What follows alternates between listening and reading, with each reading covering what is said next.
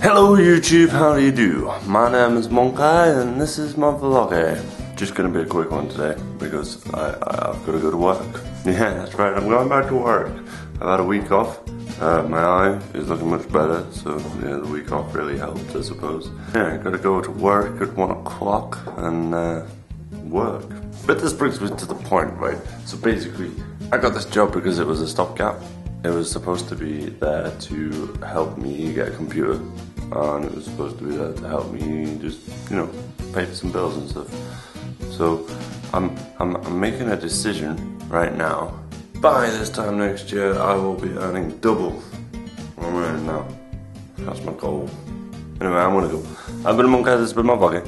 And I'm gonna close this vlog with my nose because that's the way I'm gonna go. So I'll see you all tomorrow. Peace out. Take care. Bye bye.